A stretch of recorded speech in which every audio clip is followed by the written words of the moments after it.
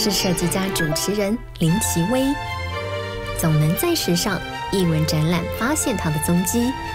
不过，这次奇威来到宛如皇室宫廷的精美豪宅，难道这次设计家到欧洲去外景了？很多人对于欧洲古典浪漫风情总是十分的向往，看着皇宫，看着古堡，总是想象着当年王公贵族在此上演的华美人生。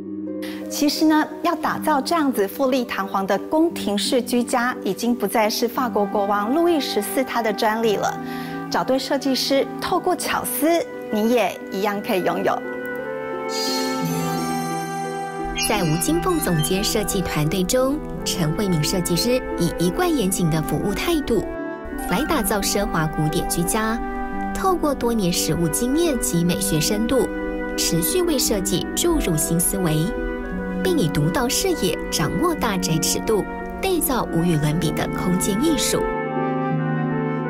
走进这个居家，我觉得真的是非常不一样、不同凡响。其实有时候我们走进一间屋子里头，我们可以看出这个屋主的个性跟他的喜好。想必这个屋主对于欧洲浪漫古典是有很大的狂热。在洽谈过程当中，一开始有说明说他希望以比较奢华一点的古典来呈现他这整个住家，所以相对我们在洽谈的过程当中，我们花了蛮多的时间的。除了我们准备了非常多不同的简报，还有三 D，让业主一一的去了解。蛮荣幸的，这个业主他其实能够放手让我们去完成这整个还蛮完整的古典的设计案。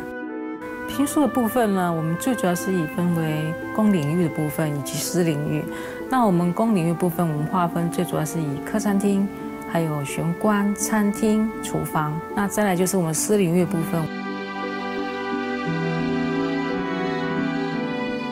慧敏，我一进门就是被这个强烈的华丽视觉给吸引，包括从这个玄关开始，可以看到你花了很多巧思，然后这个端景也是有很强烈的这个视觉效果。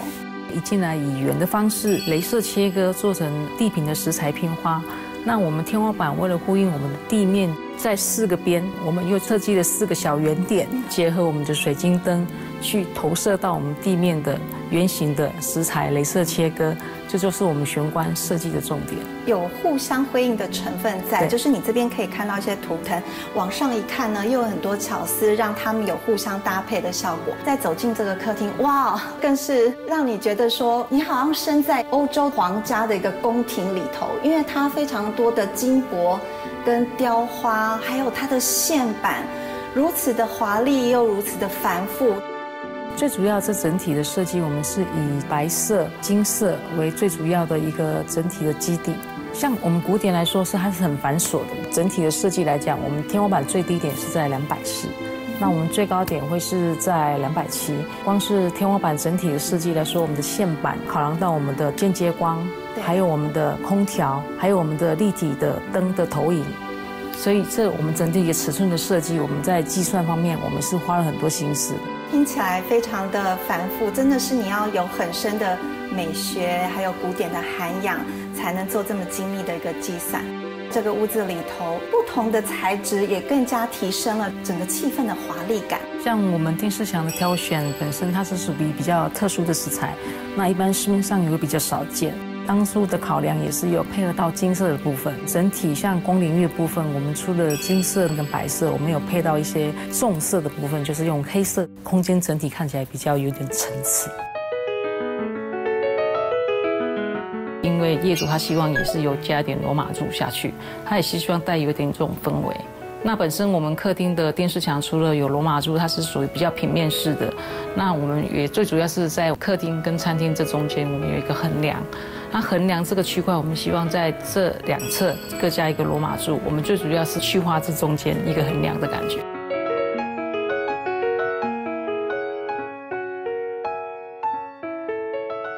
我已经觉得太多的细节看不完，就是好像你到了一个非常精美华丽的一个宫殿，你必须要花很多的时间去细细品味每一个细节。所以接下来我更好奇，那其他地方的设计会是如何？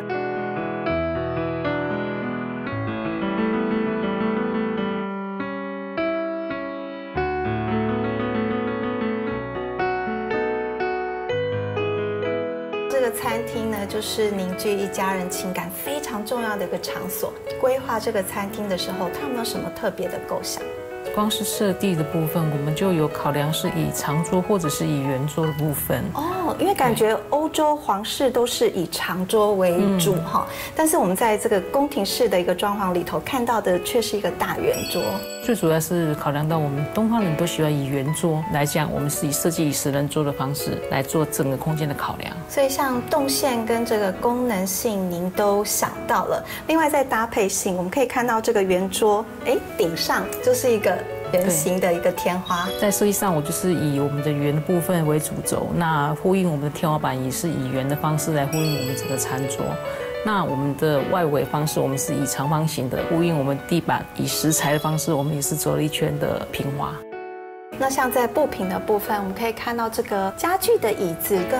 客厅的家具也是一系列整合感。往上看，这个大窗里头有一个很不一样的景致，就是有一组沙发，很多人会在这个地方放一个卧榻哈。本身那地方因为景还算不错，我们先设定作为做品茶，最主要也考虑到说以后可以摆放神明厅，神桌放那个位置直接朝外，那这个地方变成说比较多功能式的一个设计。哦，连未来的这个功能性您都考量到了。对。那另外一个很映入眼帘、吸引我的就是这个展示柜了。最主要我们这个主墙变成它有点像艺术的端景。我们会结合我们一些镀钛啦、锈件啦、玻璃啦，还有一些我们的背板，我们会用一些比较特殊进口的壁布，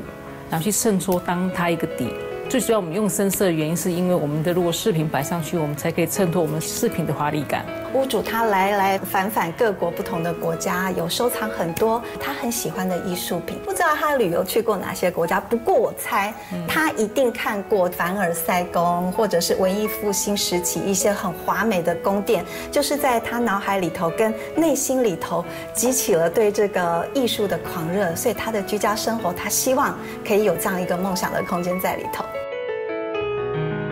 你还想不想看更精彩的？哦，当然想，非常的迫不及待。走吧。好。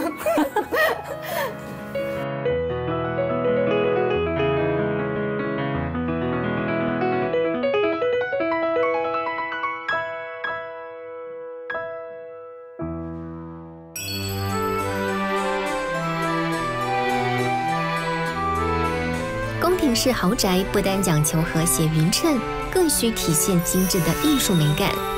陈慧敏设计师为了凝聚家人情感，特地于私领域间规划起居室，满足阅读书房与未来孙子游戏需求。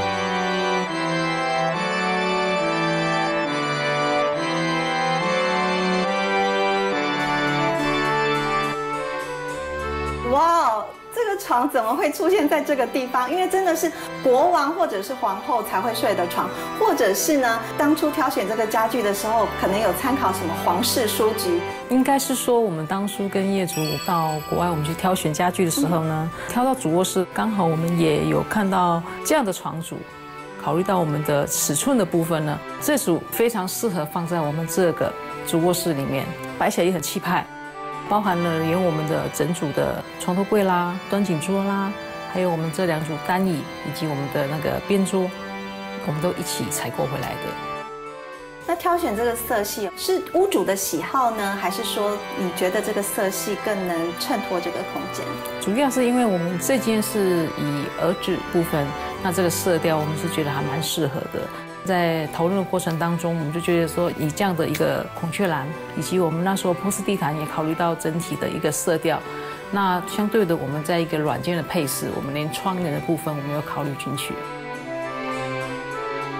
公领域跟我们私领域的我们的天花板设计当然会有区别，因为卧室里面是属于要比较属于注重睡眠，那进去里面是感觉线板就不会那么繁琐。私领域部分我，像我们的线板，你看中间的部分，我们在设计就不会有这么多的线板的饰花，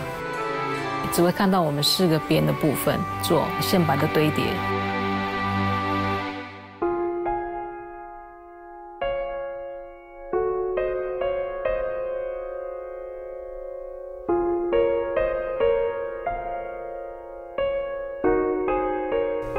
父母的自主卧房以金色、米色润饰雍容华贵的空间情怀，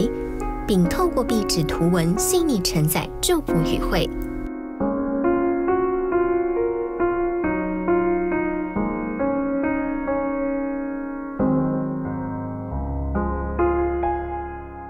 俯拾即是的古典细节，源自体察美感的独到用心。玄关以圆弧意象圈点立面、地平设计，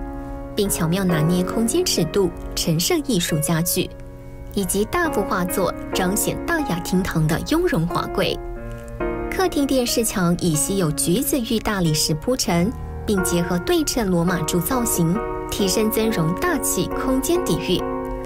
餐厅则掌握团圆寓意。配置大面圆桌，并运用窗面空间陈设属于屋主的品茶赏景区。不仅如此，陈慧敏设计师还精心规划廊道，成为屋主的一品典藏端景，更在起居室与书房的配置下，让屋主拥有丰富生活场域。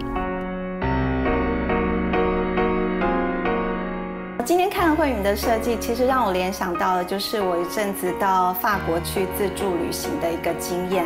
嗯，我记得在法国，我看到了巴洛克时期的重要建筑，那就是巴黎歌剧院。另外还有洛可可时期重要的建筑，就是凡尔赛宫。所有的金碧辉煌、情绪张力、浪漫主义都显现在里头。但是我另外一个考量是，怎么样把这个居家空间就是打造出来？我觉得是一个很大的难题。那透过今天跟慧敏长聊一番，我发现里头真的有好多的难度，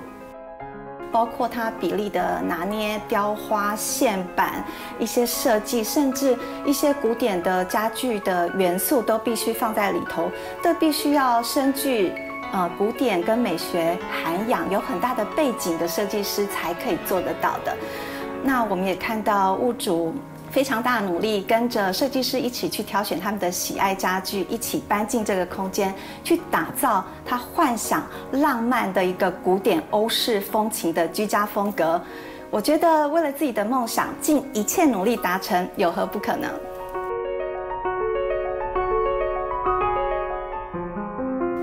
屋主给我的第一印象，我感觉他们夫妻两人都还蛮亲切的。他们也很明确的说明，他们就是要比较奢华的古典，所以他们风格的方向是还蛮明显。他整体的设计他都还挺满意的，但是他对于他的客餐厅来讲，他觉得招待客人他还觉得蛮有面子的。对我来说，觉得还实际上还蛮有成就感的。跟每个业主的沟通，我都还蛮重视的，因为每一次的沟通都是信息的传达。因为嗯，每个业主他来自不同的背景，所以相对他们的需求都是来自每一次的沟通。所谓的完美，应该是说每个设计案上面跟业主之间的沟通，我们每个细节达到双方的一个平衡点，这才是一个完美的设计。